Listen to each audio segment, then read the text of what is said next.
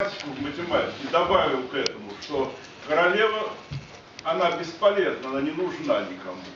И поэтому и математика, в общем-то, имеет примерно то же самое свойство. Поэтому то, что вы сказали, это просто добавление к вашему вот выступлению относительно высказывания Галласа.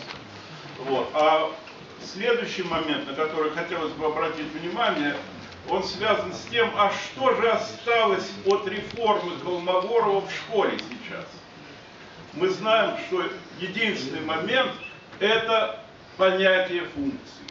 И вот этому понятию, вы на это тоже обратили внимание, что э, надо четко, чтобы было понимание непрерывности, бифуркации. А вообще, если посмотреть первый семестр чему мы учим даже математиков в Московском университете, мы их учим именно строить графики функций. Значит, надо изучать монотонность, надо изучать выпуклость, надо изучать э, другие свойства функций, там точки перегиба, экстремумы и так далее.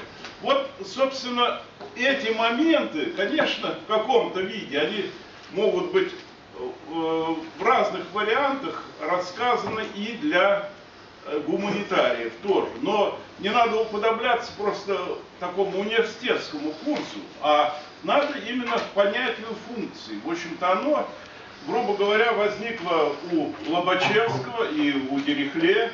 У одного оно возникло в связи с э, тем, что надо было так или иначе обосновывать геометрию, вот, а э, именно у Николая Ивановича Лобачевского, а у Дирихле это из э, теории дифференциальных уравнений математической физики. Вот я хотел бы только добавить к тому, что сказал Николай Андреевич.